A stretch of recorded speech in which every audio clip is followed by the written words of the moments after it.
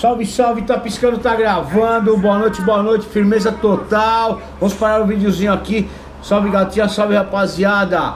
A partir de amanhã estaremos em Barretos, Barretos Motorcycle, evento monstro aqui no interior de São Paulo. É no mesmo espaço da, no recinto, né, do, onde existe a festa do peão, uma das maiores, podemos dizer, da América Latina.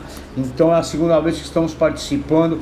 Grande prazer, muito obrigado é, a todos vocês aí que compareceram lá o ano passado. Esperamos comparecimento em massa lá novamente.